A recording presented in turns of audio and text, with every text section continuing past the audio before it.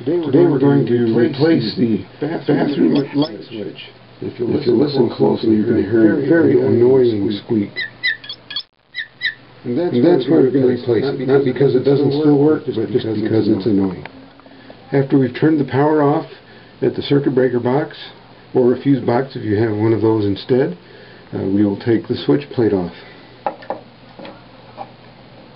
Next we'll unscrew the switch from the box.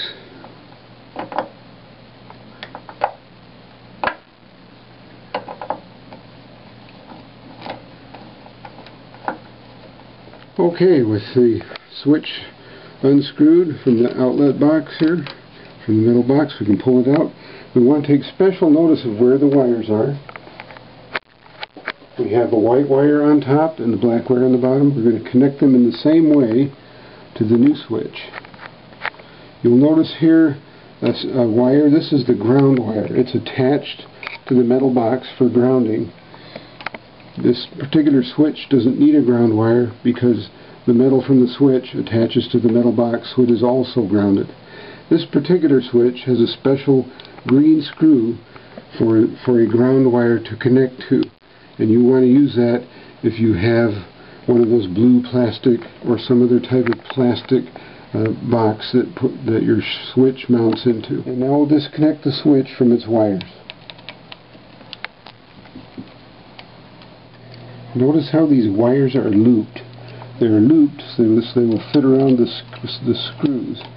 Now you can also do it another way.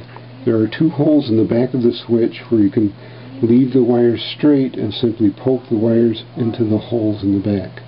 We're going to loop these onto the screws. I like to do that just because I feel it's a little more secure connection. Once you have the wires looped around the connectors securely, and you can use um,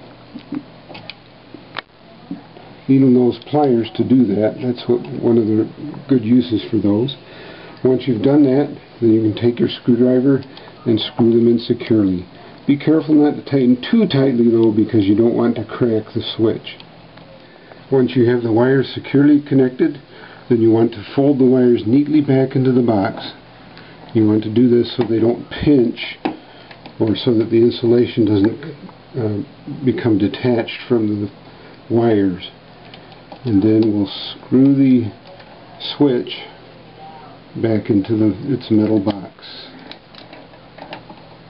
Now if you want to know whether you've got the switch in correctly or not, if you look and it says off on the top, then you've got it in properly.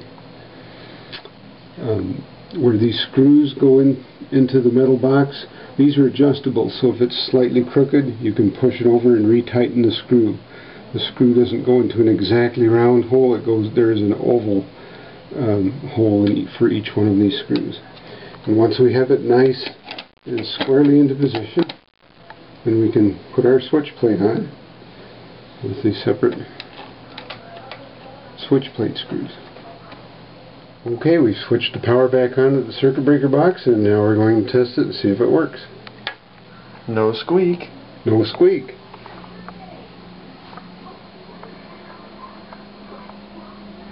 And we have lights. All three of them.